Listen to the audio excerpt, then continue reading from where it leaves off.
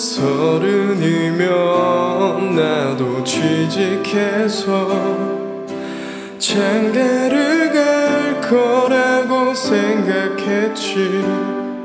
내 부모님과 내 집사람과 오손도손 살아갈 거라고. 돌아보면 다시 같은 자리.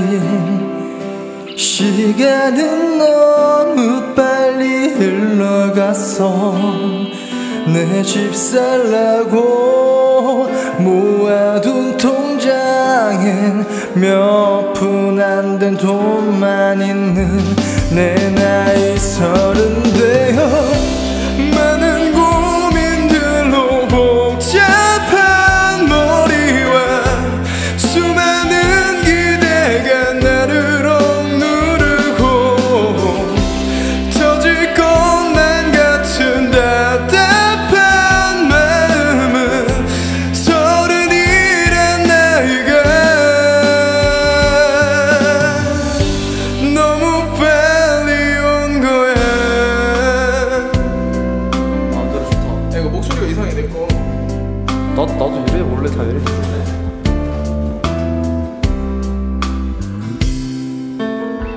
내년이면 우리 아버지도 환갑을 바라보실 연세인데 이 못난 자식 잘 되라시며 걱정 살에 주름 만들고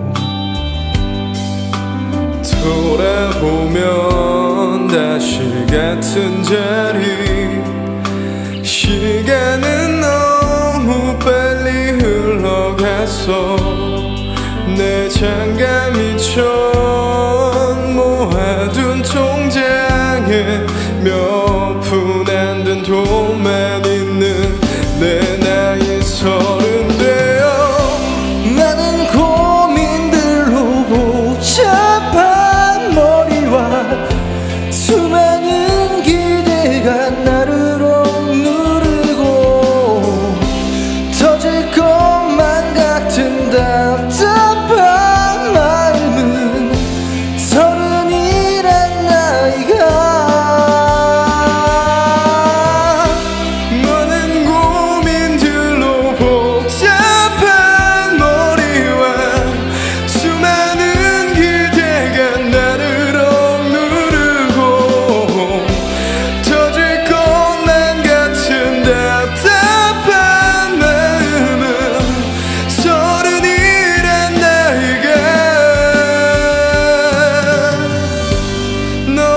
아이고 늦어, 예, 잘못했다 미안 빨리 온 거야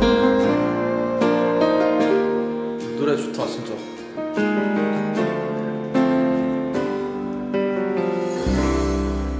이제 뭐하지? 이제 뭐할래요? 다음